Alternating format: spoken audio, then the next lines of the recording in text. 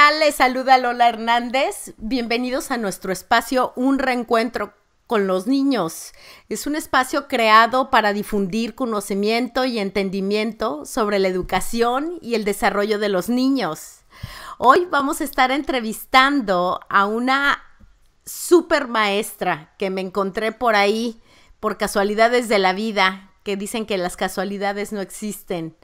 Quédate con nosotros, que hoy platica con nosotros Cristina Velasco Esteban y estaremos conversando sobre el tema No hay alumnos difíciles, hay diferentes maneras de aprender. Así que le doy la bienvenida a Cristina. Cris, gracias por estar conmigo. Buenas tardes, muchas gracias por invitarme a tu programa y encantadísima de estar con vosotros. Gracias, Cris.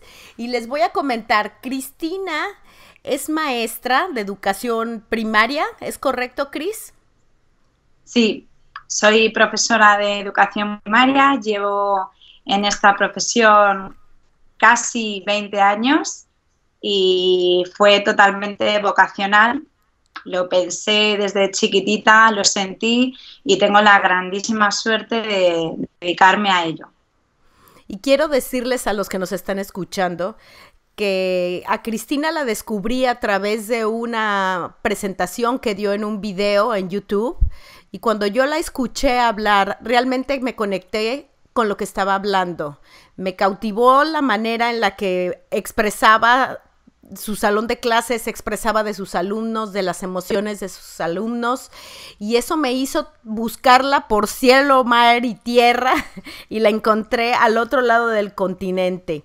Además, Cristina tiene una historia de vida, una historia de su infancia, que le voy a pedir que nos comparta un momento, porque eso nos va a dar una muy buena referencia de cómo ella llega hasta este punto compartiendo con sus alumnos los que comparte, eh, eh, desarrollando en ellos las habilidades emocionales que deben ser desarrolladas para convertirse en mejores seres humanos.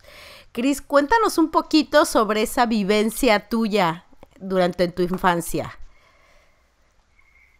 Bueno, pues eh, yo nací con un problema de corazón, con una cardiopatía congénita y esto me hizo los primeros años de escolaridad, pues tener que faltar mucho por operaciones y demás.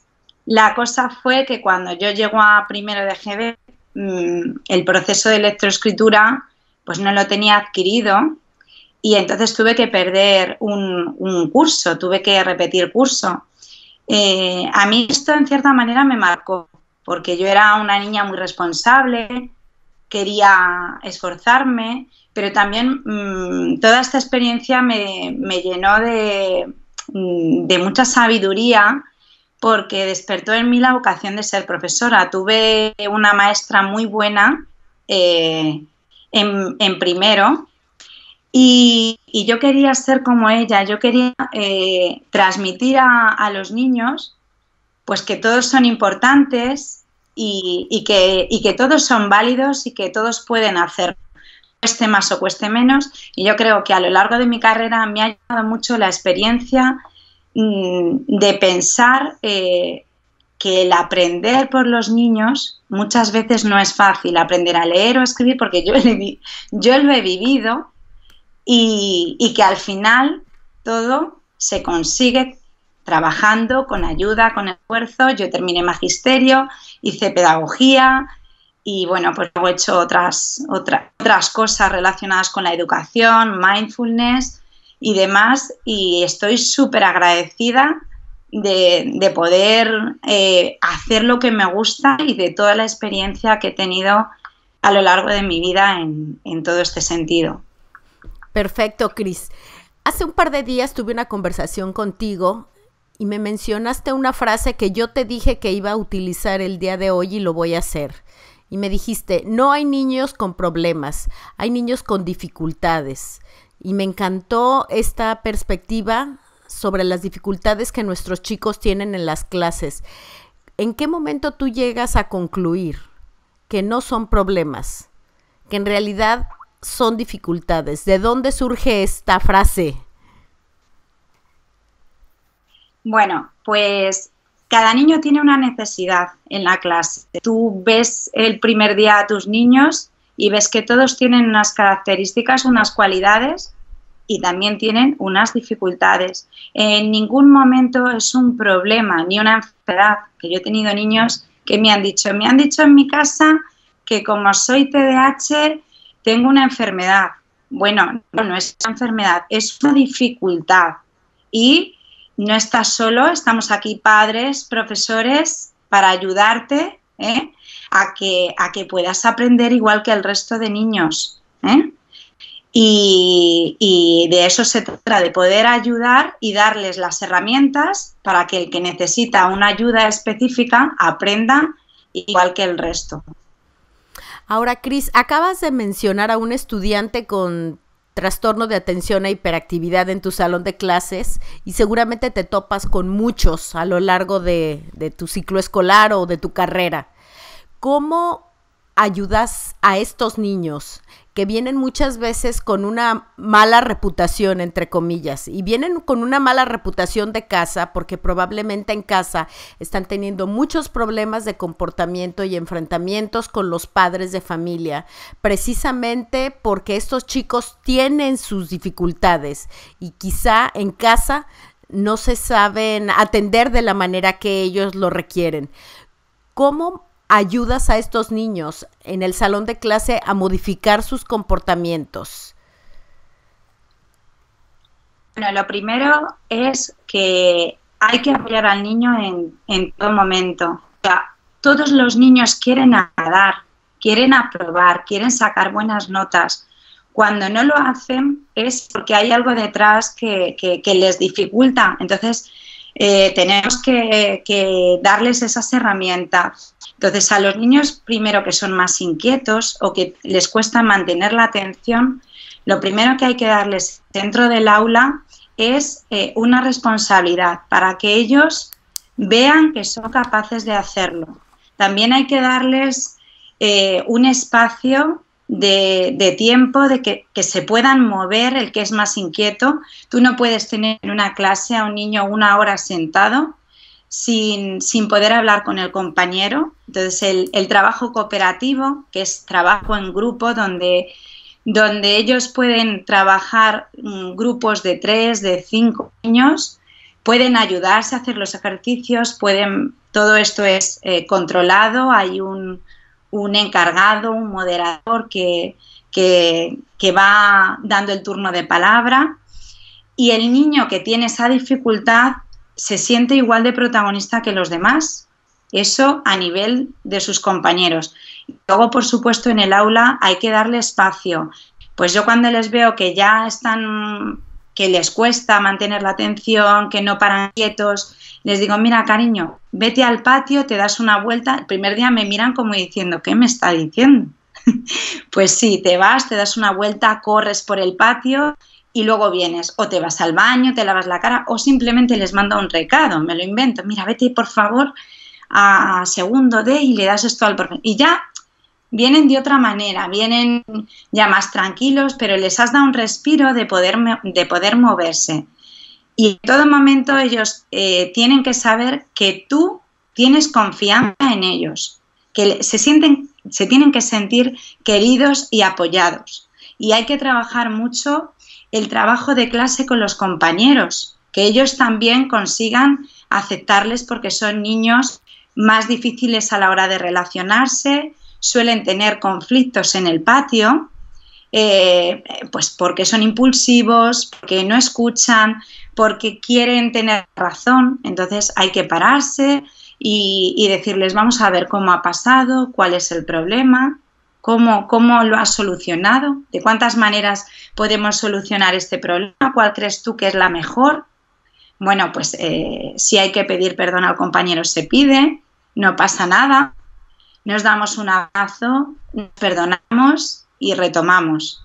Pero sobre todo, sobre todo, el niño se tiene que sentir querido, aceptado y que, y que no le pasa nada raro ni nada extraño, sino que simplemente pues eh, tiene eh, una dificultad como el que tiene una dificultad en lectoescritura o como el que necesita un apoyo en, cualquier otro ámbito. Súper. Gracias por esos datos. Espero que todos los que nos están escuchando estén tomando nota. Y yo quiero preguntarte algo, Cris. Nosotros hablamos sobre reconocer las emociones de los niños y darles valor, aceptarlas, reconocerlas. Pero muchas veces para los adultos es muy difícil aceptar o reconocer o querer dar eh, apoyo a un chico cuando está teniendo un berrinche, cuando está teniendo una crisis, cuando está siendo agresivo, cuando está siendo violento, cuando está con comportamiento rebelde. ¿Qué es lo que está pasando ahí? ¿Qué están manifestando los chicos, Cris? ¿Y cómo manejar estos problemas de rebeldía? Bueno, no problemas, estas escenas de rebeldía, de agresión, de, de frustración. Yo lo que aconsejo a los padres y a los profes, sobre todo a los padres, es que observen a su hijo. O sea, un niño cuando está gritando, cuando está pataleando, cuando está nervioso, vamos a observarlo. ¿Está contento? No. Eh, hay que ver cómo podemos calmarle. Hay niños, porque son todos distintos, que les viene muy bien el abrazo, el que les des una caricia, no pasa nada y ya cuando esté tranquilo se habla con el niño. Hay otros niños que es mejor dejarles, darles su espacio, que al contrario el contacto, el contacto físico en ese momento lo toman como una agresión entonces lo mejor es agacharse a su altura, mirarles con cariño, te puedo ayudar. Eh, es difícil, ¿eh? Yo entiendo que para los padres cuando un niño tiene una rabieta es complicado, pero muchas veces es mejor eh, darle espacio para luego ya nosotros poder intervenir y luego ya sí hablarlo. ¿Qué es lo que ha pasado? Es importantísimo que el niño se dé cuenta de dónde le ha venido el enfado y darle pautas para que la próxima vez pues lo pueda solucionar de otra manera. A ver cómo podíamos haber reaccionado ante esta situación. ¿Qué hubiera pasado si en lugar de romper a llorar o pegar al compañero o tirarte al suelo, me lo hubieras dicho? O sea, ellos tienen que ver que muchas veces tienen que comunicar lo que les pasa para que nosotros les podamos ayudar. Ahora, tú me dices que en el salón de clase utilizas la técnica, o no sé si se llama técnica o no, de mindfulness. Conozco yo un poco al respecto.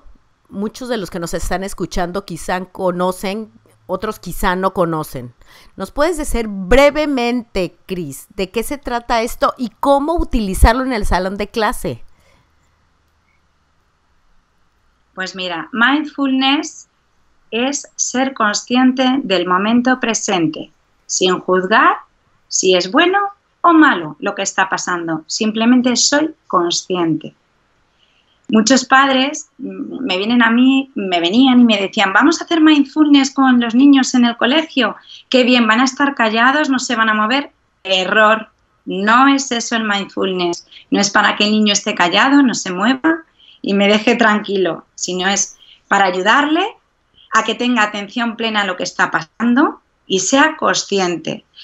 Eh, esto se trabaja a partir de las prácticas de la atención a la respiración y con eso conseguimos una atención plena, con ejercicios de prestar atención a la respiración.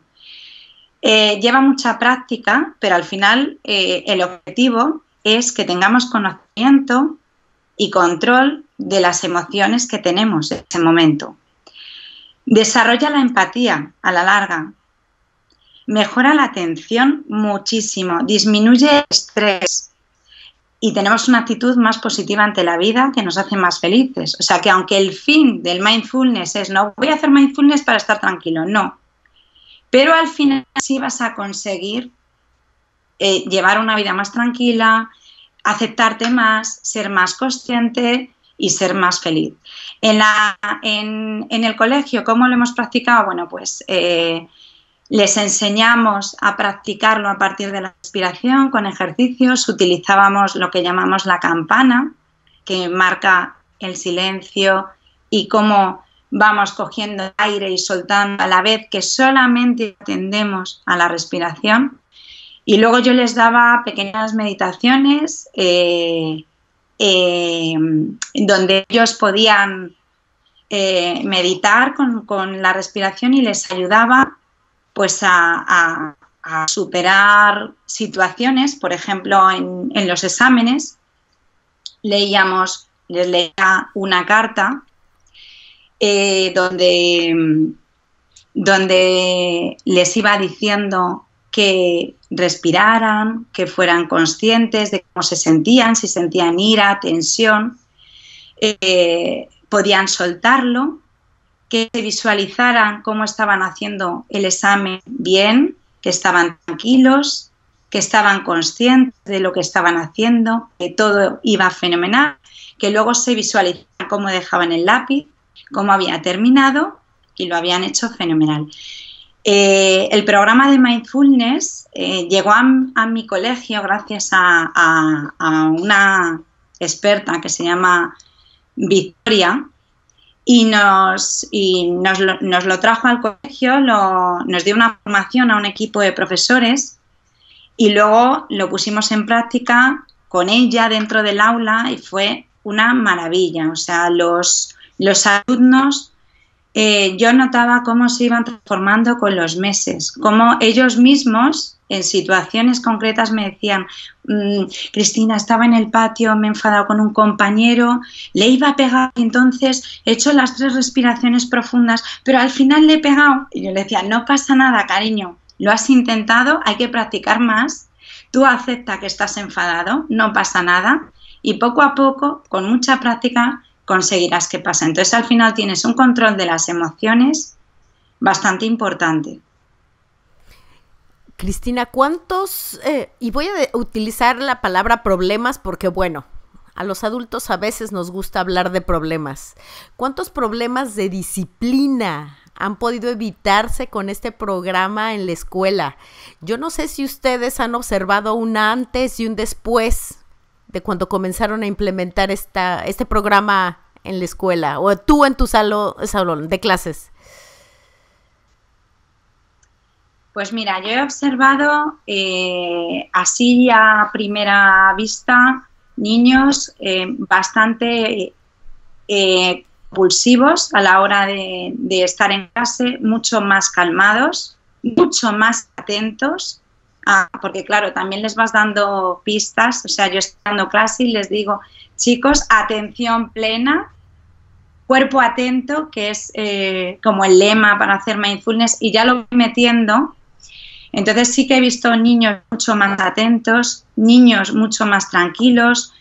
Eh, en situaciones de estrés he visto niños que han, que han conseguido tranquilizarse niños con un nivel casi de mm, rasgos de depresión, uno en concreto, cómo fue siendo consciente de por qué estaba triste, de qué le venía a mí, esto me pareció impresionante, y, cómo al ser consciente de lo que le, ponía triste fue capaz de aceptarlo y, y poco a poco fue desapareciendo. Claro, yo creo que este programa es uno de esos programas que puede servir me atrevo a decir, a muchos de nuestros chicos y adultos a dejar incluso medicamentos como antidepresivos, ansiolíticos, quizá algunos de problema de ansiedad, de no de ansiedad, sino de atención, quizá no todos, pero yo estoy segura que este programa, la implementación continua de este programa en las vidas de un niño, de un adolescente, de un adulto, puede marcar la diferencia entre llevar una vida plena en donde seas capaz de dejar los medicamentos si es que ahora eres dependiente de ellos o eh, seguir estancado en donde estás. Así que me parece fantástico esto que están haciendo, Cristina. Y yo quiero, quiero hacerte otra pregunta porque estuvimos platicando también hace un par de días y hablamos de una situación que realmente se torna compleja en casa, las tareas. Para muchos padres de familia el momento de hacer tareas se convierte en una pesadilla. Y yo quiero preguntarte a ti, ¿qué herramientas, qué consejos les puedes dar a los padres de familia, especialmente aquellos que tienen dificultades para que los chicos se sienten a hacer sus deberes? Bueno, lo ideal sería que los niños no tuvieran deberes en el colegio y que quizás el que tiene más dificultad en una cosa como método de entrenamiento que pudiera trabajar en ello durante 10, 15 minutos, pero solamente en aquello donde tiene la dificultad.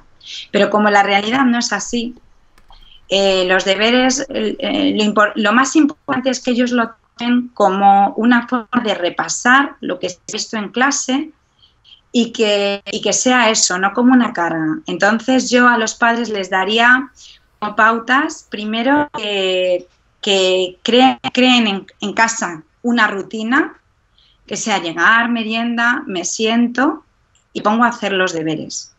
Que sea siempre en el mismo sitio, que el niño tenga su espacio, su mesa, su lugar de trabajo, que todo el material esté ya organizado en la mesa, porque si no, ya me voy a sacar punta, me voy un momento al baño. No, primero se hace todo lo que se tenga que hacer de merendar, descansar, lo que sea, baño y luego ya me pongo de verdad a hacer los deberes. Entonces tengo el material en mi mesa preparado para que no haya, eh, para que no excusa. Yo siempre mm, aconsejo empezar por aquello que cuesta más, que es más dificultoso o apetece menos hacer. ¿Eh? Siempre, si hay deberes de lengua o de mates, pues siempre, ay, pues empieza por lo demás que me gusta más. Pues no, lo vamos a hacer al revés, porque ahora estás fresco, que acabas de descansar de merendar, y luego ya, como al final, haces la parte de los deberes que es más sencilla o te gusta más. Luego ya también dependiendo de, la dificultad del niño, hay niños que hacen los deberes en 10 minutos y se acaba y hay otros que me cuentan los padres que están toda la tarde. Eso es un horror y no se puede permitir. Entonces a este tipo de niños hay que ayudarles. En esta tarea no están solos, somos un equipo y les vamos a ayudar. ¿Cómo? Pues eh, se puede poner un reloj, se les puede dar pautadas los ejercicios o las tareas que tienen que hacer vamos a hacer primero esto, tú lo haces, te pongo el reloj, a ver cuánto tardamos. Podemos poner al lado del ejercicio el tiempo, el tiempo que hemos tardado, nos felicitamos si hemos tardado poco o eh, si hemos tardado demasiado, vamos a intentar al siguiente hacerlo un poquito más, más atentos, sin distraernos. ¿eh?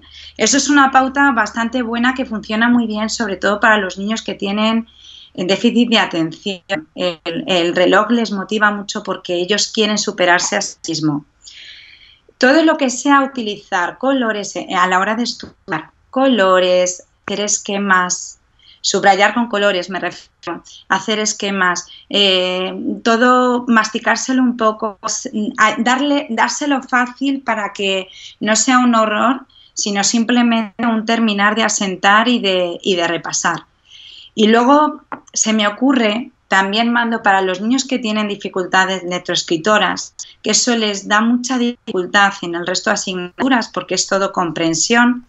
Un buen método es grabarles la lección. A estos niños, a los que dislexia me estoy refiriendo, sobre todo, a estos niños estudiar una lección ya en un sexto de primaria incluso un quinto y en secundaria es un horror porque no entienden lo que leen. Entonces, si un adulto les puede grabar leído lo que tienen que estudiar, les ayuda muchísimo, muchísimo.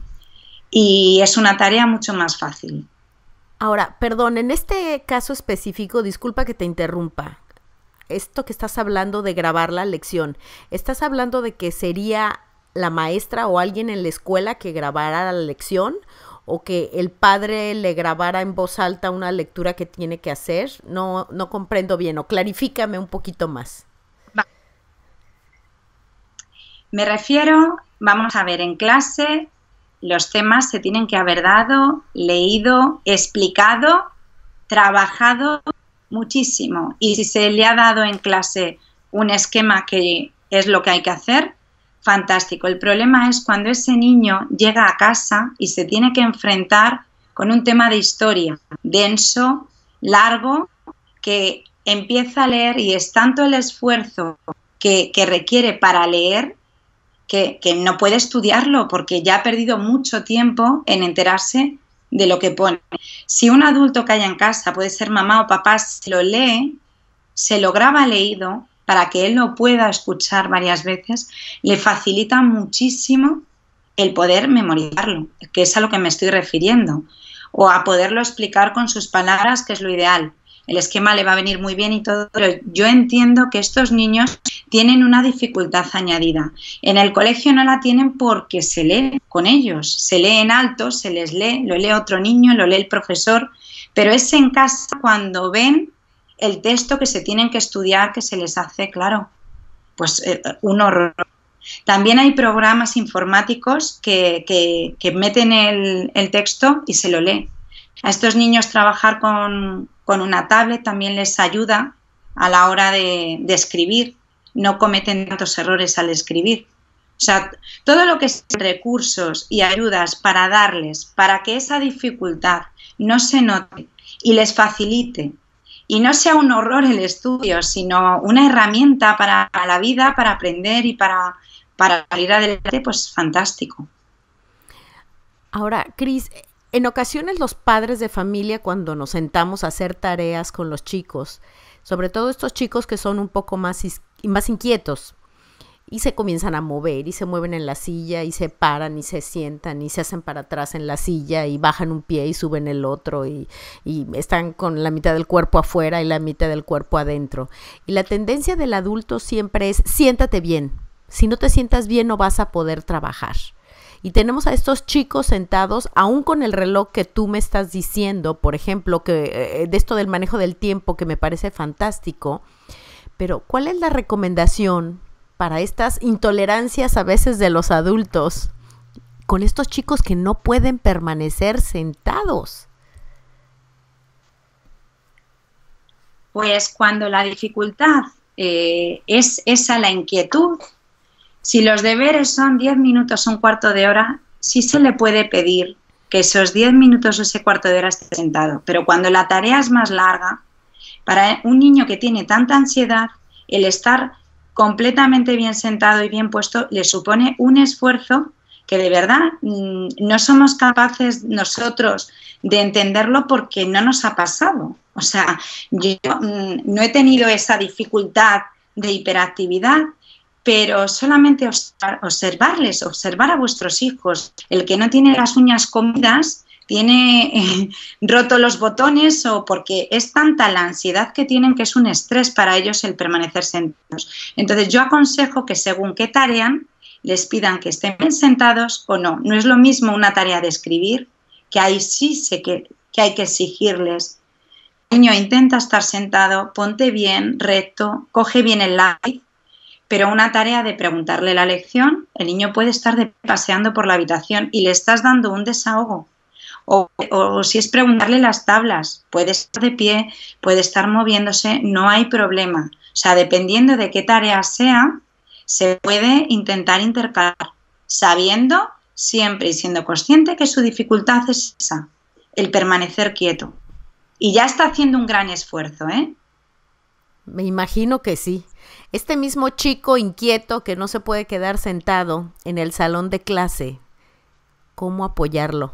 Porque ahí hay muchos chicos que lo están mirando, que están observando si él se para, si él se sienta, si él se hace para un lado, para el otro y además de quizá representar una, una, distracción para otros alumnos, pues representa una distracción para él mismo. ¿Cómo poderlo manejar dentro del salón de clase cuando la maestra lo que quiere es continuar con la lección y este chiquitín parece que comió lombrices vivas por la mañana?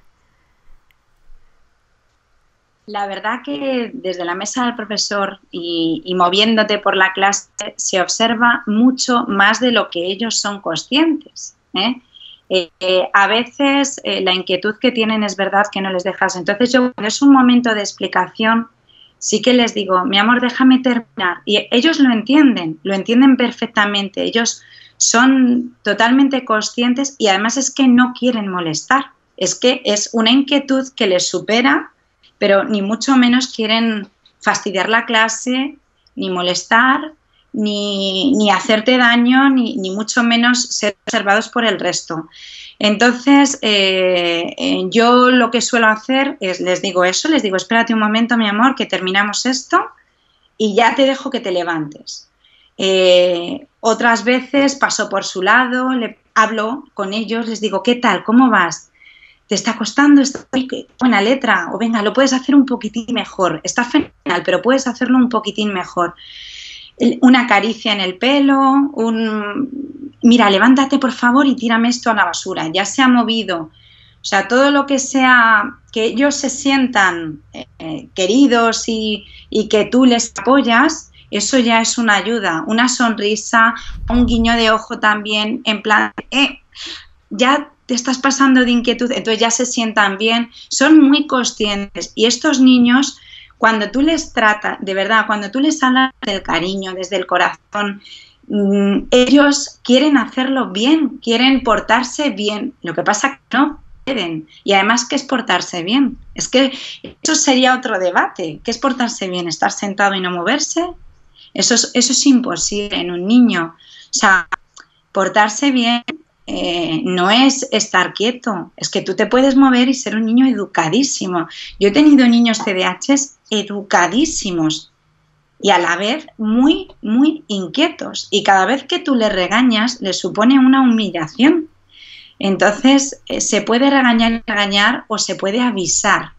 Y avisar con un guiño es decirle, cariño, te están viendo todos que estás tirando en el suelo, siéntate ya. Y este lo pillan y no le has dicho nada. Simplemente le has guiñado el ojo para recordarle cómo hay que estar. O al que está totalmente inatento, que, lo que tienes de atención, que eso es, casi peor porque pasan desapercibidos y cuando te quieres dar cuenta, si no has observado, no han hecho nada.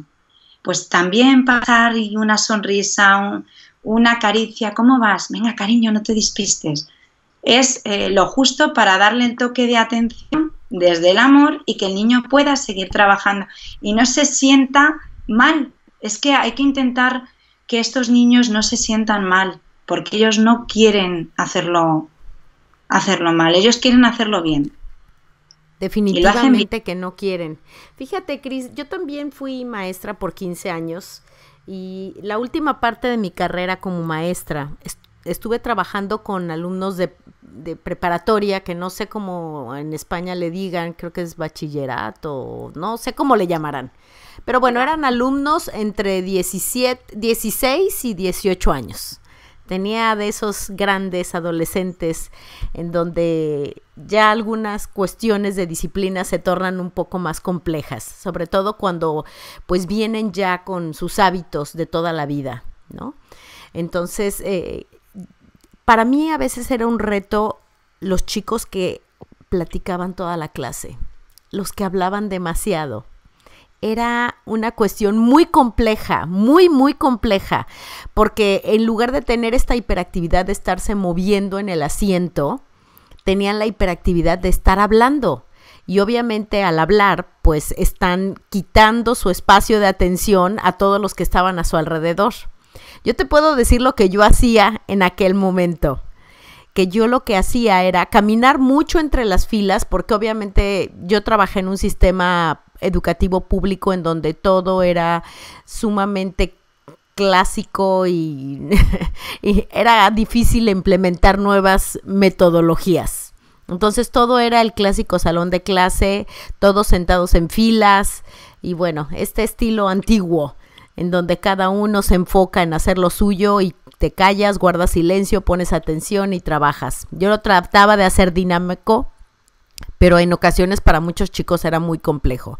Entonces yo me paseaba constantemente por entre las filas, aunque casi me tropezaba con todas las mochilas tiradas, pero cuando tenía los chicos que platicaban mucho, pues yo iba y me paraba al lado de ellos sin decir nada, solamente me paraba al lado de ellos y desde ahí dictaba la clase, o un pedacito de la clase. Y ya ellos me volteaban a ver y sonreían y bueno, ya sabían a lo que me estaba refiriendo y todos lo sabían. Pero yo nunca les decía guarda silencio o nunca les ponía evidencia, porque yo sabía que para los jóvenes era muy difícil ser puestos en evidencia. Ya de por sí están en evidencia. Están hablando y todo el mundo sabe que son ellos. Entonces yo me paraba solamente al lado de ellos y a veces eh, volteaba a ver su trabajo que tenían en el escritorio y les preguntaba si todo estaba bien, si tenían alguna duda. Si me decían que no, bueno, me movía del asiento, pero ya para ellos eh, representaba lo mismo que decirles, mi vida, guarda silencio por favor, porque o hablas tú o hablo yo. Entonces, ¿cómo manejar eso en el salón de clase? Esta es la manera en la que yo lo hice en los últimos años con mis alumnos de preparatoria. Me funcionó bastante bien. La realidad es que me funcionó muy bien, pero en ocasiones es demasiado, sobre todo con los que son muy platicadores. Muy bien, pues mira, yo te voy a decir que yo soy amante del trabajo cooperativo. El trabajo cooperativo a mí me ha ayudado mucho a solventar este tipo de dificultades en el, en el aula. El trabajo cooperativo significa que tú te colocas en grupos, empiezas con grupos de tres, luego grupos de cinco y eh, el aprendizaje lo, lo van a hacer en grupos. Es otra forma de aprender y otra forma de trabajar. Entonces, la dinámica de la clase cambia completamente. Ahora, no va a haber silencio. Primero tú explicas, luego ya se ponen a trabajar. Cada uno del equipo tiene un rol que se va cambiando según van pasando los días para que todos puedan ser eh, partícipes de uno de los roles. Pues hay uno que es el que da el turno de palabra, otro es el moderador, otro es el que apunta, y así cada uno tiene, tiene su función dentro del equipo y todos son importantes. ¿Qué ocurre con esto? Que es una maravilla, porque mm, lo que consigues es que ellos entiendan, además les encanta, que hay momentos en la clase que sí se puede hablar. Eh, a un volumen, además lo vas viendo, cuando ellos tienden a hacer trabajo cooperativo, eh, hacen un, tienen un volumen de voz medio se, acostumbran a no gritarse, que en primaria terminan gritándose, pues como ya es una cosa habitual trabajar en grupos, ya hablan a un tono normal, no, no hay gritos. Y, entonces como ahí tienen un espacio de hablar en la que todos dan su opinión, todos se apoyan, hablan, cuentan, explican, entonces luego en los momentos en los que tú estás explicando no te cuesta tanto que estén en silencio. También depende del día y del niño. Pero, pero a mí me ha funcionado bastante bien. Y luego a mí también me ha funcionado el hablar de forma individual con el niño que suele ser el que, el que habla y distrae y hace que los demás se metan en, en esa técnica de me distraigo, no escucho le llamo aparte cuando ya termina la clase, oye, mira, quiero hablar contigo. Y, le digo la verdad, le digo mm, que a mí me, molesta que, no, que no escuche, que interrumpa, que si hay algo que, yo le puedo ayudar, que por qué lo hace. Y la verdad que también me funciona muy bien. Y se lo, se lo digo desde el cariño. O sea, les digo, mira, de verdad, es que yo lo que quiero es que tú mm, estés atento, que escuches, que sé que es difícil, que a veces el tema no es que más te apetece, pero, pero, pero hacerlo porque es por tu bien. Y la verdad que eso funciona muy bien y responden muy bien y se comprometen.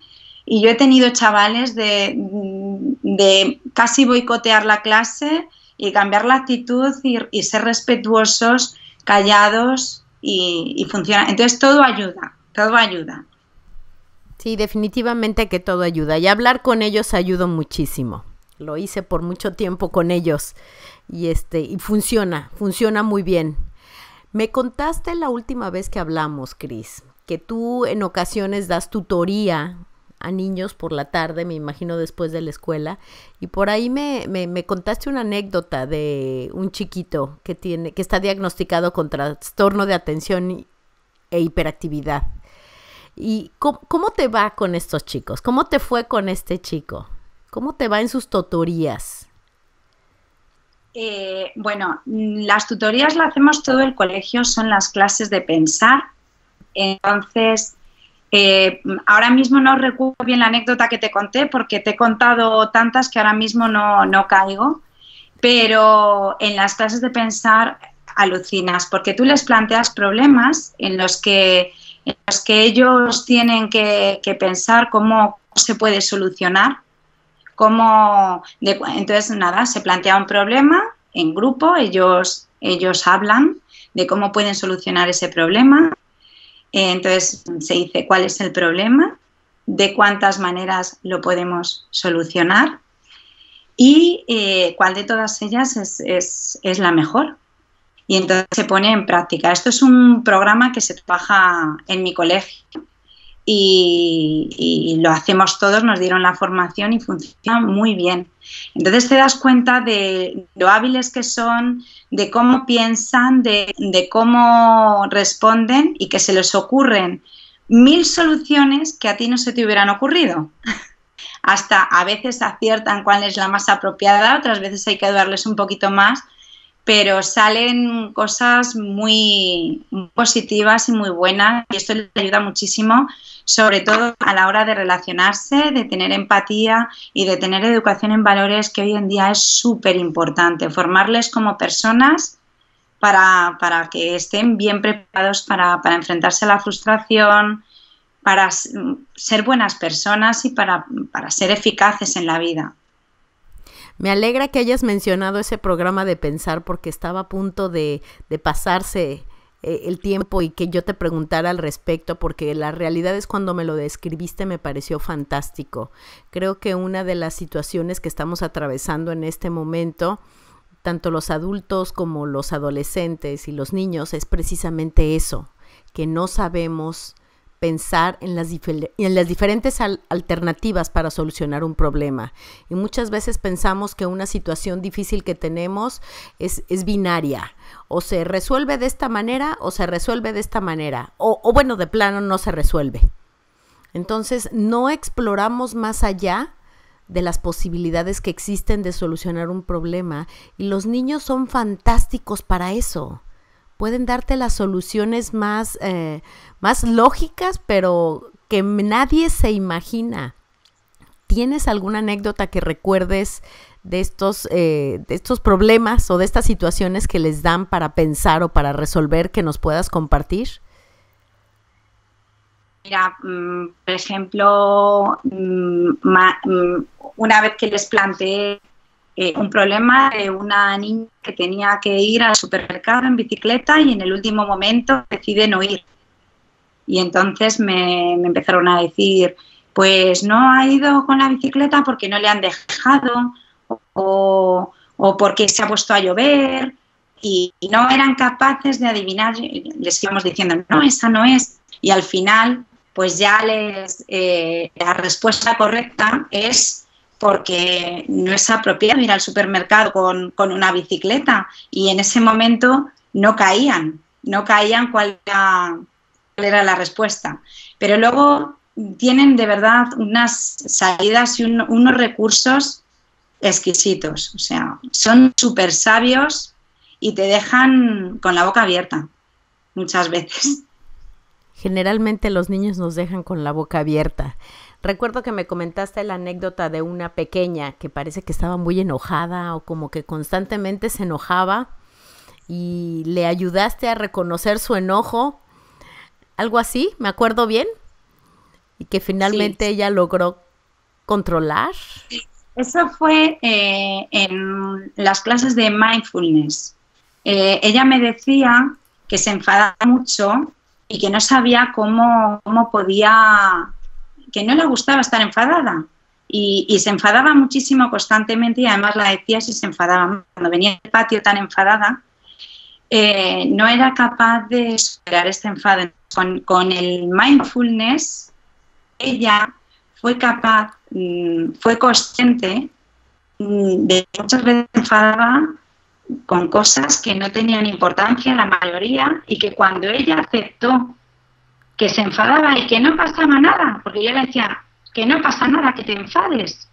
Cuando ella ya fue consciente y superó que, que se enfadaba y que tenía ese carácter, pues poco a poco dejó de enfadarse y fue una niña mucho más alegre, empezó a tener un montón de amigas que antes siempre andaba por el patio sola, porque claro, como tenía carácter y se enfadaba tantísimo, todo era motivo de, disputas, de problemas, pues al final estos niños se van quedando solos, entonces hay, que ayudarles. Pues ella fue consciente de, de, que se enfadaba mucho y que no pasaba nada si lo aceptaba.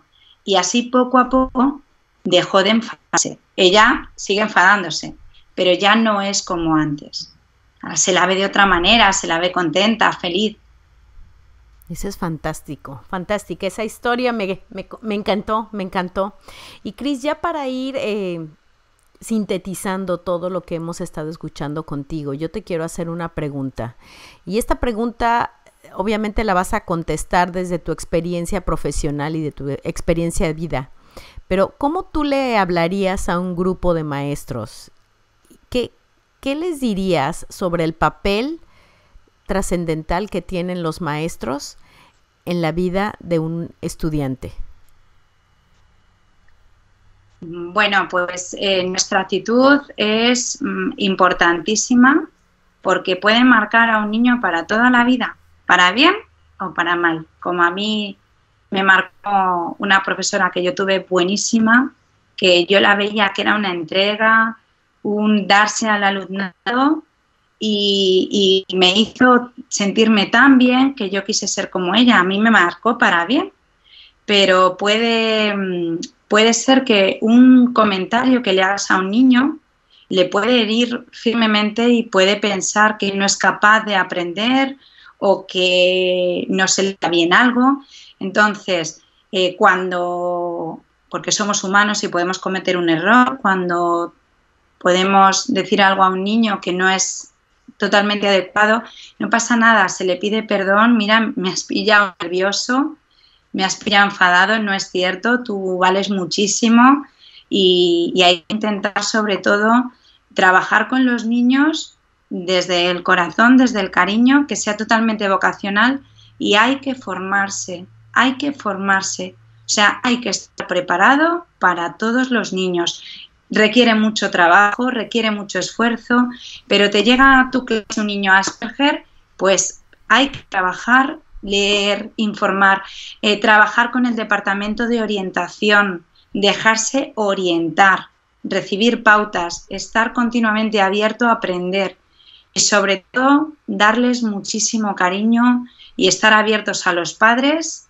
y, a que, y estar conscientes de que somos un equipo, que todos, todos, padres, profes y alumnos somos un equipo. Acabas de mencionar algo muy importante, Cris, que es el trabajo en equipo. Y cuando tienes un chico que tiene un reto muy, muy específico, por ejemplo, el caso del trastorno de atención e hiperactividad, el Asperger, quizá el autismo y muchos otros, la dislexia, muchos otros retos significativos que existen. Hablaste de trabajo en equipo cuál es la importancia de ese trabajo, sobre todo con los padres de familia, cuál es el rol de los padres en este equipo con la escuela, qué aportan. Los padres aportan todo, aportan, aportan muchísimo. O sea, yo siempre que recibo los padres voy a escuchar su preocupación, su angustia. Muchas veces vienen eh, que quieren que tú les digas cómo poder ayudar a su hijo. Entonces tienen un papel muy importante, ellos buscan asesoramiento. Eh, también a veces es duro eh, concienciarse o, entender que tu hijo tiene una dificultad. A estos padres hay que ayudarles, hay que darles tiempo, hay que comprenderles y, sobre todo, pues mm, darles las herramientas para poder ayudar a este niño en casa con los deberes, con el comportamiento, con todo y sobre todo escucharle. Y si en, y si en casa están trabajando con ese niño, con un profesor particular, con un psicólogo externo al colegio, con un logopeda, con lo que sea, es bueno que haya también conexión con el cole, porque entre todos podemos ayudar mejor a ese niño y saber qué estás haciendo tú desde casa, qué está haciendo el colegio, qué está haciendo orientación, qué está haciendo el lo que externo. Todo eso es importantísimo y sobre todo escucharse y, entenderse porque al final lo que todos buscamos es que ese niño aprenda y sea feliz, sobre todo que sea feliz. Eso es lo más importante, Cris. Muchísimas gracias por todo lo que nos dices. Se nos acabó el tiempo y sé que no nos quedó tiempo para hablar de, qué, qué, qué decisiones tomar cuando un niño tiene que repetir un año escolar. Eh, ya no tuvimos tiempo, pero vamos a tener que invitarte nuevamente porque hay mucho que hablar sobre lo que ocurre dentro de un salón de clase y sobre lo que ocurre entre la relación de la maestra, los alumnos, los padres de familia y el resto del personal que está también en la escuela. Ha sido un placer conversar contigo, Cristina.